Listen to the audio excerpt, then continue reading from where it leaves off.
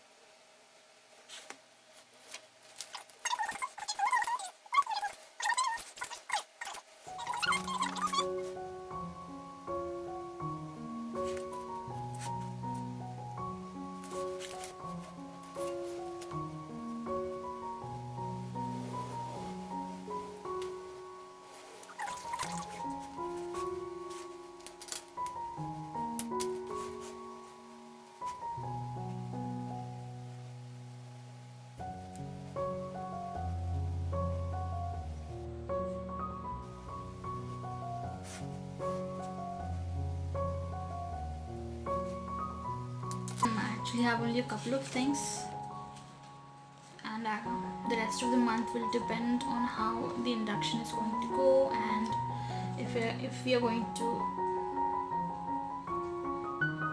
get online classes or online courses. So it's going it's going to be dependent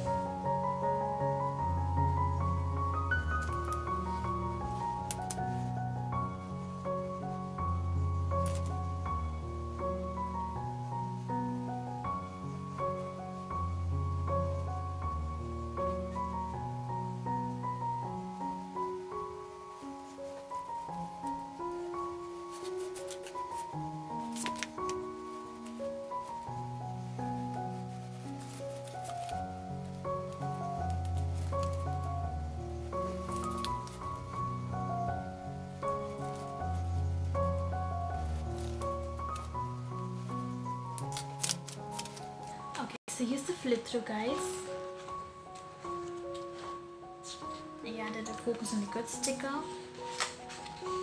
Even though it is starting online it is still starting. Oh, my MBA and here's the habit tracker. Shopping list cleanup list and the very empty calendar.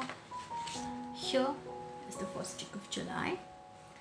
Um, I'm filming this on the 2nd so I filled up the space for 1st July with stickers and these are left over from the last month.